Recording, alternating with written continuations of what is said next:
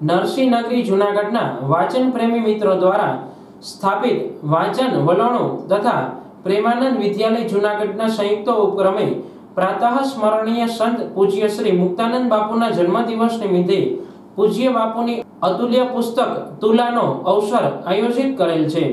આ નિમિત્તે એકઠા થયેલા હજારો પુસ્તકોનો ઉપયોગ વાંચન વલણો દ્વારા હાથ ધરાવનાર વિવિધ પ્રવૃત્તિઓ થકી જૂનાગઢના નાગરિકોને પુસ્તક વાંચન તરફ દોરી જવા માટે થશે.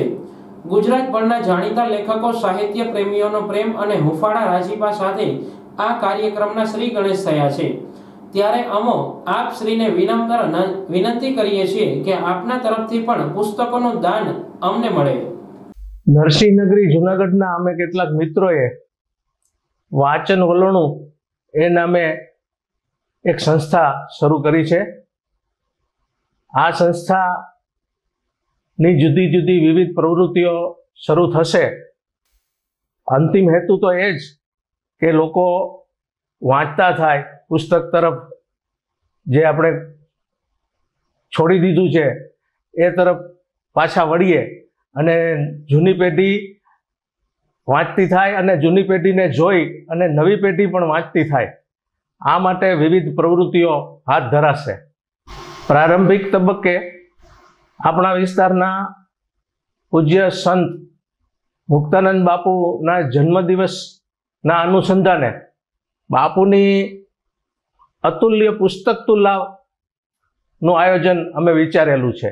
બાપુના આશીર્વાદ પણ આ પ્રવૃત્તિને મળ્યા છે અને આવા વિભૂતિના જન્મદિવસની ઉજવણી નિમિત્તે એમની અતુલ્ય પુસ્તક તુલા થાય, તો એ દ્વારા પણ સરસ સંદેશો સમાજ સુધી પહોંચે. આ બાબતની જાણ ગુજરાતભરના જાણીતા લેખકો, સાહિત્યકારોને અમે કરી, તો તેઓ પણ ખૂબ રાજી થયા અને આ પ્રવૃત્તિ માટે, આ બાપુની અતુલ્ય પુસ્તક તુલા માટે તેઓ પોતાના પુસ્તકો ભેટ સ્વરૂપે, દાન સ્વરૂપે અમને મોકલવાના છે. આજે અમે આ પ્રવૃત્તિ માટે જુનાગઢ શહેરના અને આજુબાજુના વિસ્તારના સૌ નાગરિકોને પણ આ પ્રવૃત્તિમાં જોડાવા માટે વિનંતી કરીએ છીએ. આપ પુસ્તક સ્વરૂપે દાન આપો.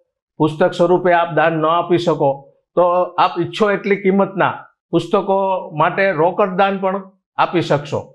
આ માટેની વિગતો તમે નીચે સ્ક્રીનમાં જોઈ શકશો. આ સુંદર પ્રવૃત્તિ આપણા શહેરમાં શરૂ થાય, એમાં આપણે સૌ જોડાઈએ અને વાંચીએ, વિચારીએ અને સમજણની કેળવણી કરીએ. અસ્તુ.